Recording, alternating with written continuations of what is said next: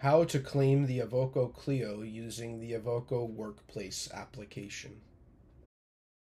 So what will we need? We'll need to download the Evoko Workplace application on either an iOS or Android device. We'll also need the physical Kleeo device itself. We'll need an active Wi Fi connection. And we'll also need to make sure that desks have been added to the organization admin center prior to claiming. Hello everyone, let's navigate to the tools section here under device setup. We can find the desk we want to claim by using the name. We can also enter the Wi-Fi credentials for the device to get on the network. Uh, move the mobile phone closer to the device. Uh, the device will pick up the configuration using NFC. Uh, the configuration will contain both Wi-Fi credentials and the device name.